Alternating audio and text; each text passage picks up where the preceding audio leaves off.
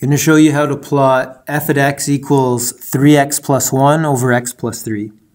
We call this category a rational function, and in particular, this rational function is a linear function divided by another linear function. First thing we're going to do is identify the domain. The domain is x plus 3 cannot be equal to 0, and otherwise x is a real number. We know that x plus 3 can't be equal to 0 because if it was, we would be dividing by 0, which is not defined. So that means that x is not equal to negative 3. And from our knowledge of reciprocal functions, this gives us a vertical asymptote. So we've got a vertical asymptote at x equals negative 3. So I'm going to go ahead and plot that. I've got a vertical asymptote at x equals negative 3. So our function is not going to, to ever reach this line here.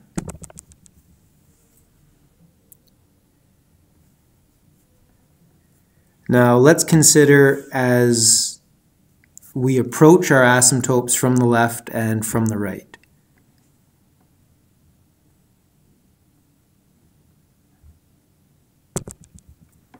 So again, f at x is 3x plus 1 over x plus 3. And I want to look as x approaches, I've got my asymptote at negative 3. So I want to consider, consider as x approaches negative 3 from the right. So I'm looking at values slightly, slightly larger than negative 3. So let's consider my function at negative 2.5. And that's going to give us 3 times negative 2.5 plus 1 all over negative 2.5 plus 3.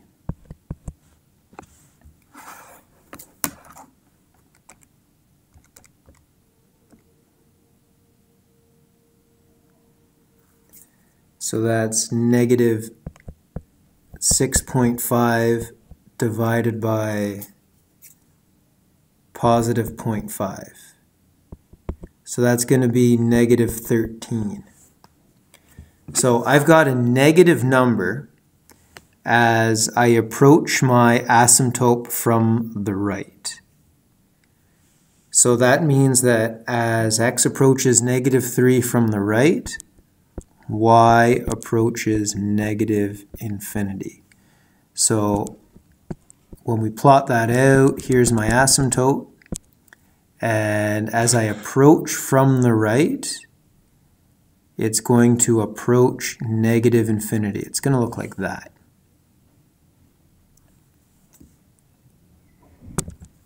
Now as I approach from the left,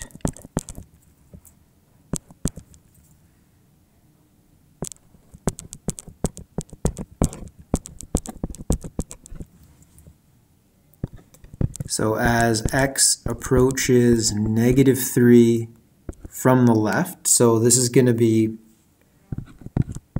values that are a little more negative than negative 3, like negative 3.1. That's going to give me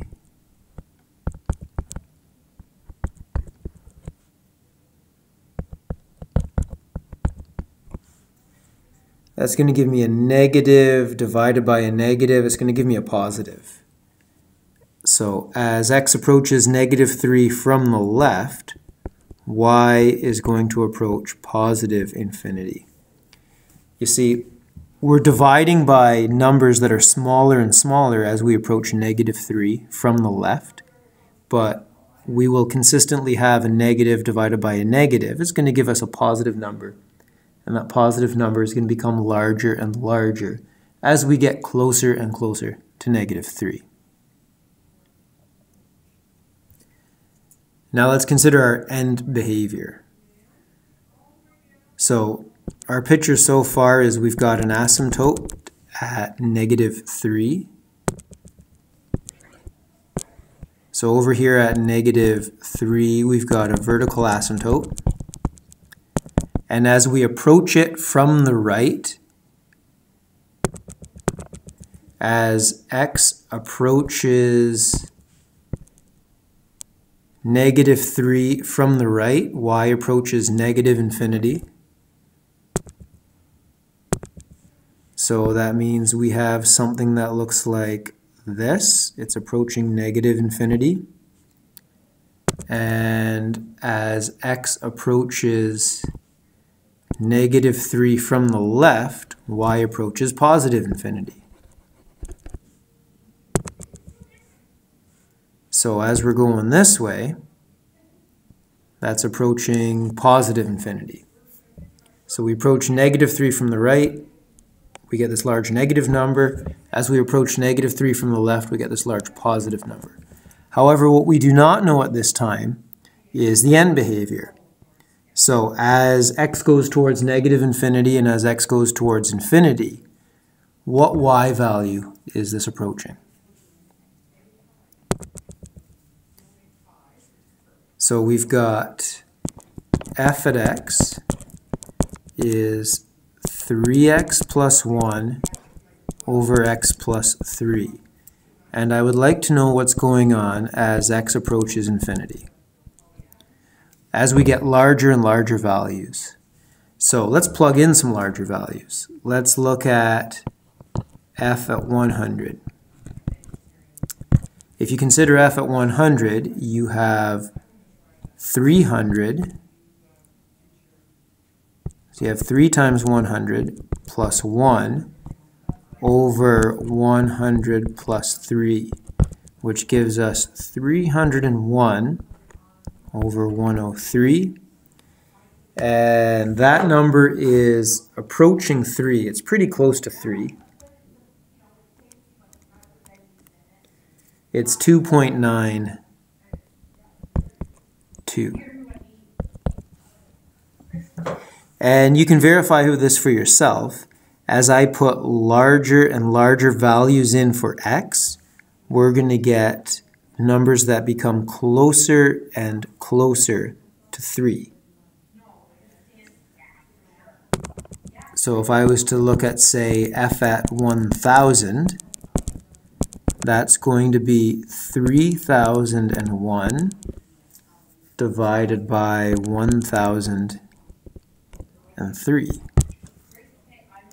3001 divided by 1003 gives us 2.992.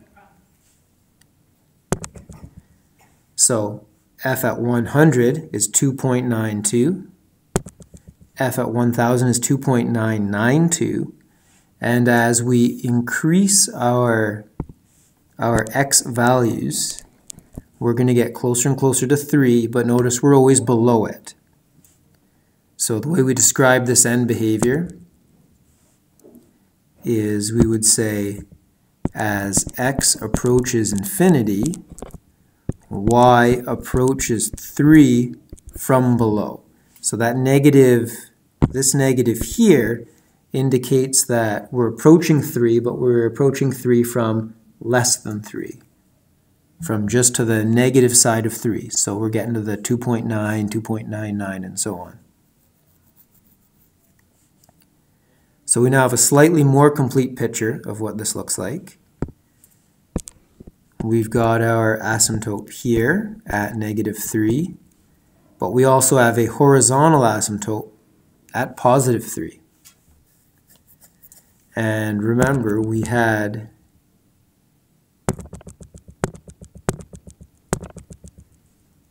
we had as x approaches negative 3, y approach negative infinity.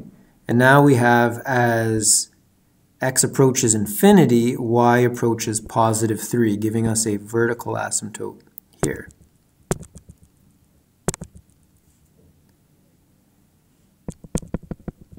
So this is my vertical asymptote at positive 3. And this is my, sorry, my horizontal asymptote at positive 3. This is my vertical asymptote at negative 3 and as I approach, as x approaches infinity, y approaches 3 from below. As x approaches negative 3 from the right, y approaches negative infinity. So it looks like that. Now, as x approaches negative infinity, you put in some values and you're going to find, I'll let you plug in the values for yourself, plug in negative 100, negative 1,000, and so on. And what you're going to find is as you put in larger and larger negatives, you get a value that's closer and closer to 3, but from above. Let me, let me do a couple of them for you here. I'll do at least one. So remember f at x is 3x plus 1 over x plus 3 and let's put in negative 100. That's going to give us negative 300 plus 1 over negative 100 plus 3. So that's going to give us negative 299 divided by negative 97.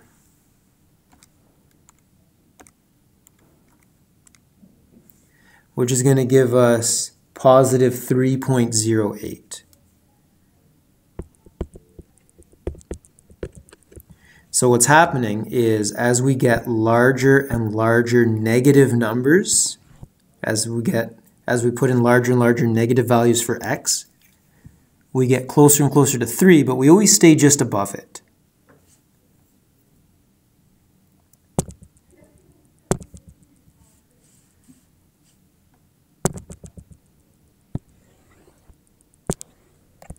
So we have a horizontal asymptote here at y equals 3. We have a vertical asymptote here at x equals 3. And with our asymptotic behavior, as we get closer and closer to negative 3, y becomes a larger and larger negative. As we get closer and closer to positive 3, sorry, as x approaches infinity, we get closer and closer to positive 3 from just below it. So we, we figured this out by putting in values like f at 100. We figured this out by putting in values like f at negative 2.99.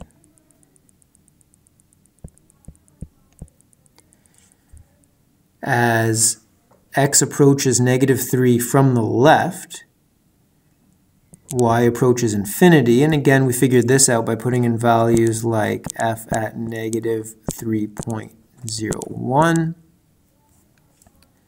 and as x approaches negative infinity, y approaches 3 from above. So you put in values like f equals negative 100 to figure that much out.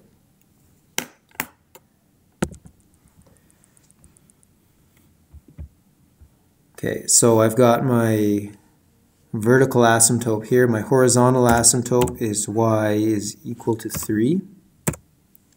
And then we go to plot this function. f at x, that is y, is equal to 3x plus 1 divided by x plus 3.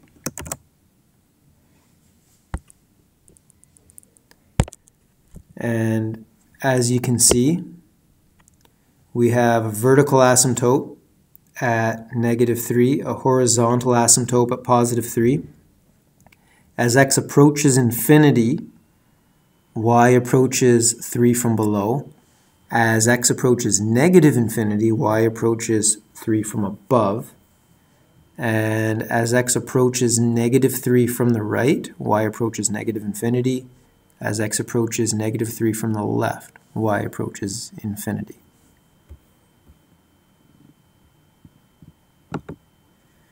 Let me show you a, a, shortcut way to figure all these things out. So let's say you're dealing with a problem like this. f at x is equal to 3x plus 1 over x plus 3. Let's find our vertical asymptotes. You can't divide by 0, so you have a vertical asymptote of x equals negative 3.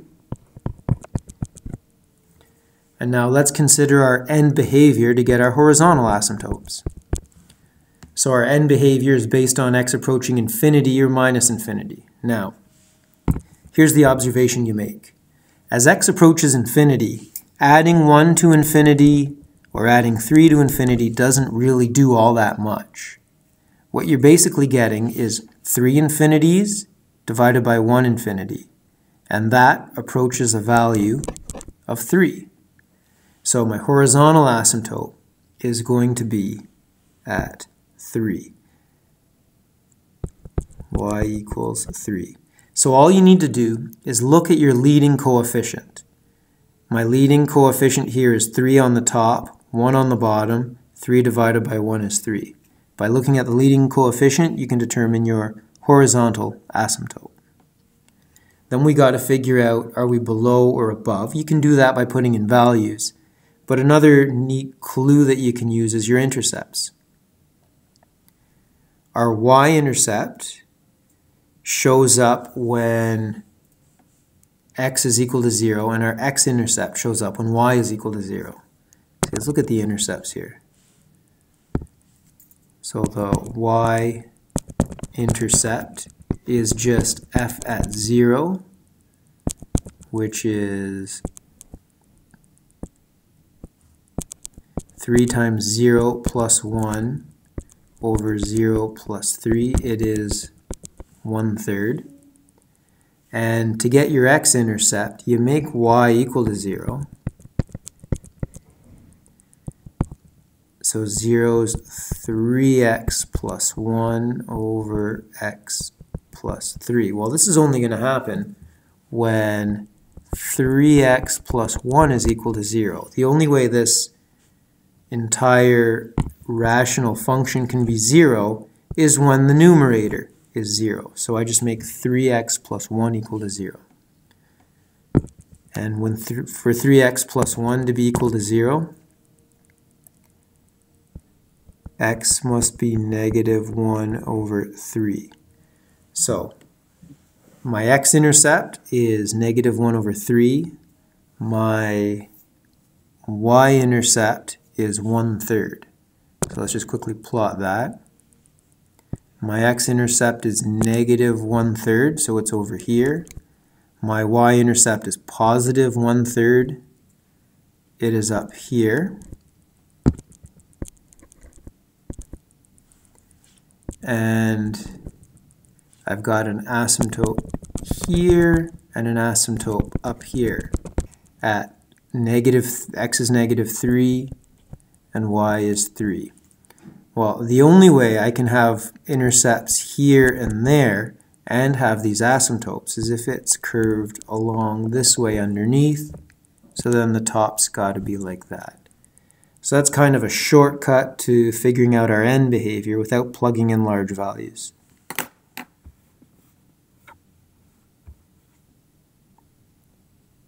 I apologize if the this video seems a little choppy or more awkward than usual. I'm new to using this software and hopefully becomes a little bit smoother as we go forward.